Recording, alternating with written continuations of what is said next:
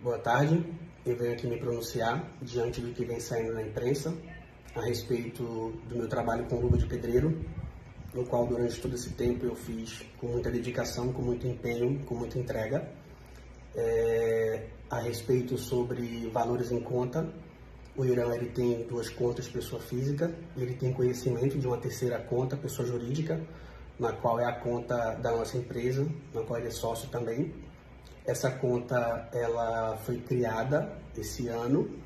É, todos os nossos contratos de publicidade eles estão com essa conta para recebimento, justamente para que toda a transparência seja possível, uma vez que todos os sócios têm acesso aos extratos, às entradas e saídas. É, essa conta ainda não teve nenhum recebimento. Os nossos contratos de publicidade, todos eles somam aproximadamente um pouco mais de 2 milhões de reais e nenhum pagamento ainda foi feito. Todos os pagamentos é, serão feitos a partir de julho de 2022, ou seja, até o presente momento, os contratos de publicidade que a gente firmou pela empresa, o cara da luva, ainda não foram pagos. Antes da nossa empresa ser aberta e ter uma conta jurídica dessa empresa, é, quando eu comecei a trabalhar com o Irã, ele tinha feito um acordo informal com uma agência, no qual ele tinha que entregar alguns vídeos no TikTok, divulgando um campeonato, é, no qual eu tive que assumir, cumprir a palavra dele. Esses valores é, foram pagos, o valor foi 20 mil reais. Como naquele momento a gente não tinha constituído a empresa, eu precisei emitir a nota fiscal, esse valor foi depositado na conta da SJ Consultoria.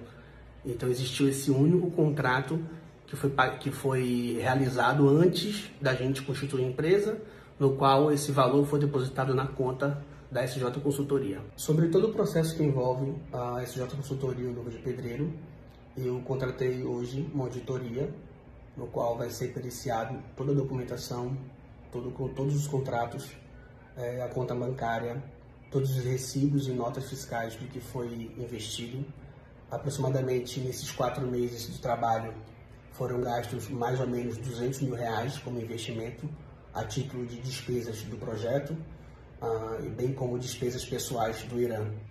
Então, essa auditoria está sendo feita, já está sendo iniciada e logo em breve eu espero poder é, tê-las em mão. Sobre a Casa do Irã, que tem sido veiculadas as imagens, eu gostaria de deixar claro que em abril desse ano eu entrei em contato com uma arquiteta chamada Lila Dionísios, no qual é, convidei ela para o projeto, ela prontamente aceitou.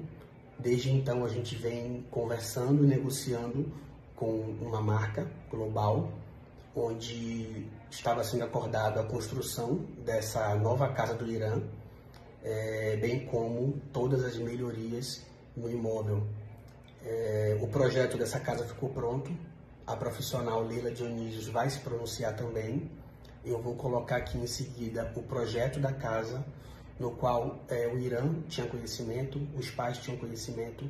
Eu tenho prints em conversa de WhatsApp com a Leila, com a marca, com a empresa. Eu tenho e-mails trocados, onde eu posso comprovar que durante esses dois meses eu vinha negociando e vinha tratando dessa construção da nova casa do Irã, bem como eu também abri mão de receber qualquer quantia por isso, uma vez que eu tenho um acordo comercial com o Irã, a contrapartida para essa marca seria a construção desse imóvel para ele, no qual ele iria residir, seria para ele. Então, nesse caso, eu tinha, eu vinha abrindo mão da minha parte para que fosse contemplado a construção da casa do Irã, é, para que ele pudesse residir um imóvel que, enfim, fosse a altura dele.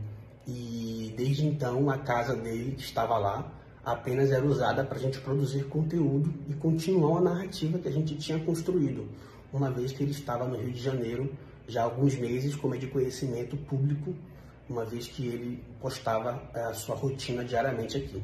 Eu acredito agora que com a auditoria ficando pronta, se for provado que eu surrupiei um real do Irã, que eu arque com todas as consequências, que eu pague por esses atos, uma vez que eu estou pautado na verdade, uma vez que eu tenho um nome a zelar, uma vez que eu trabalho nesse meio há muitos anos, eu tenho clientes, eu tenho parceiros, e eu tenho família, eu sou pai de família, eu sou filho e eu entrego é, para a justiça né, divina e para a justiça dos homens para que isso tudo se resolva da melhor maneira possível. Eu quero deixar claro que quando a auditoria ficar pronta, eu vou provar por todos os meios as regularidades dos meus atos, as minhas contas, a minha honra e a minha dignidade.